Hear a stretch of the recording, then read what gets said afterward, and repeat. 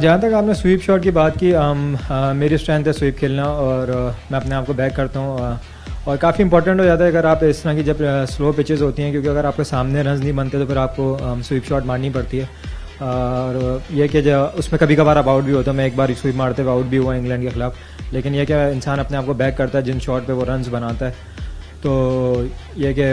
अच्छा रहा वो। और जहाँ तक आपने टी दूसरे सवाल की बात की टी के बाद की अगर आप थोड़ा सा मैच क्लोजली देखें तो एक वो सर्टेन प्लान मेरे खिलाफ लेकर आए हुए थे फास्ट बॉलर्स के, वो मुझे आउटसाइड ऑफ़ स्टम्प बॉलिंग कर रहे थे। कल भी जिस तरह स्टार्ट हुआ तो उन्होंने मुझे इसी तरह स्टार्ट किया, फिर आज भी पूरा दिन फ़र्स्ट सेशन फिर आखिरी सेशन